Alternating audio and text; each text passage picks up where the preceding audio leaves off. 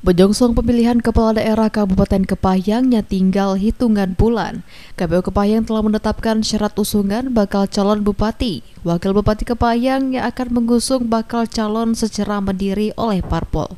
Salah satunya minimal mendapat dukungan 20% kursi legislatif DPRD Kepayang atau minimal 5 kursi dari 25 kursi yang ada. Sesuai perolehan suara pada pemilihan legislatif pada pemilu 14 Februari lalu, hanya tiga partai saja yang bisa mengusung bakal calon secara mandiri, yakni Partai Perindo, Partai Nasdem, dan Partai Golkar. Sedangkan Partai PDI Perjuangan, Gerindra, Demokrat, PKB, dan PKS wajib membentuk koalisi dengan syarat minimal 5 kursi. Komisioner KPU Kepayang Indra menyampaikan selain dari tiga partai tersebut masih berpotensi adanya poros baru pada pilkada mendatang.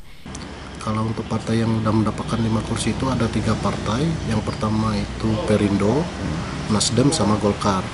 Artinya untuk yang lain kalaupun mau mengusung sendiri harus koalisi dia? Ya betul, dia harus koalisi. Contohnya kalau misalnya Gerindra itu kan ada tiga kursi, dia harus berkoalisi dengan partai lain yang uh, minimal juga ada minimal uh, yang juga ada kursi di DPRD kabupaten. Sementara itu untuk poros jalur independen atau perseorangan, bakal calon wajib untuk mengantongi syarat dukungan KTP minimal 11.000 lebih KTP jika ingin maju Pilpub Kepahyang.